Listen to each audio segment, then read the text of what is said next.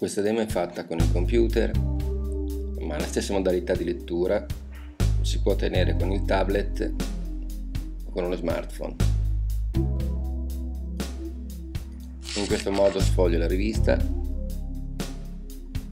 ho un sommario interattivo, dando due clic sul testo si ingrandisce automaticamente alle condizioni ottimali del video e posso controllare con il controller al piede ulteriormente l'ingrandimento del testo.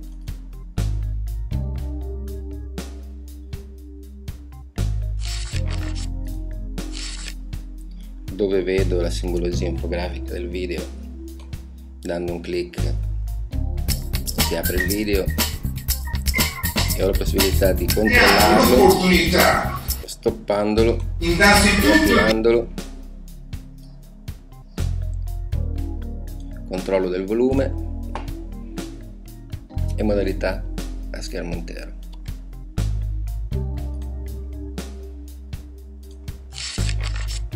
È un altro video.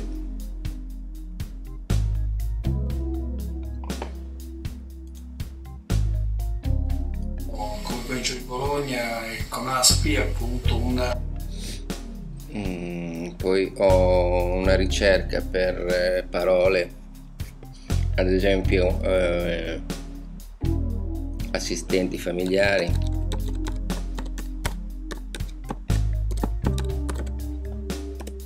Ricerchiamo in quali pagine è contenuta questa frase, quindi se sarà pagina 2.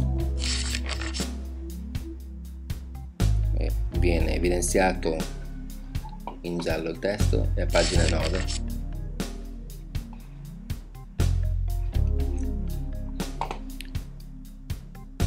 ho la possibilità di condividere la rivista con i social network, tutte le pagine o solo le pagine che voglio, con Facebook, Twitter, eccetera, eccetera, e anche via mail.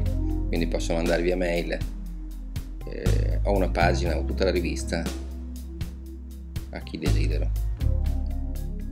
Ho anche la possibilità di incollarmi in codice HTML in un'area del sito, di un sito diciamo, con tre modalità.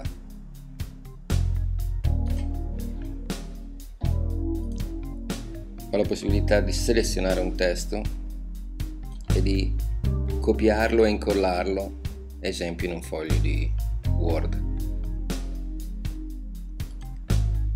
Ho la possibilità di stamparmi o tutte le pagine della rivista o solo le pagine che desidero